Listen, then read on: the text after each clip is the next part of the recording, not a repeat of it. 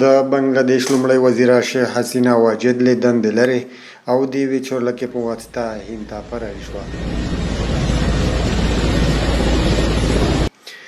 زرګونه قهرجنو مظاهره چیانو د دوشنبې په ورځ د اګست په پنځمه نیټه د هغې په دفتر هجوم وروړ او هغه یې د هیواد پریښودو ملاتړ کړه.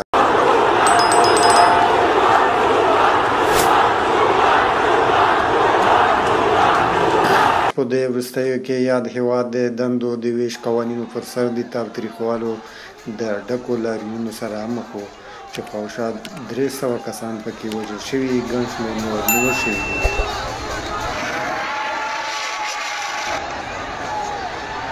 د احتجاجونو د ډکې پوهنتون زده کوونکي، ناهيد اسلام په مشرۍ چې څو ځلې د ناپېژاندو کسانو د خوا د وژل کېدو او تښتول کېدو کوششونه هم شوي وو، تر سره شول چې په نتيجه کې يې د بنګله دېش حکومت رانسکور شو.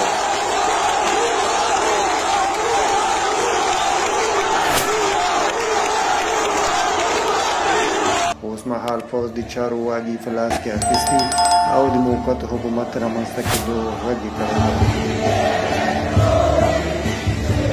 شیخ حسینه واجد د بنګله دېش د ازادۍ د سرلاري شیخ مجیب الرحمن لور وه چې شاوخوا شل کاله یې د بنګله دېش د خلکو مشري وکړه.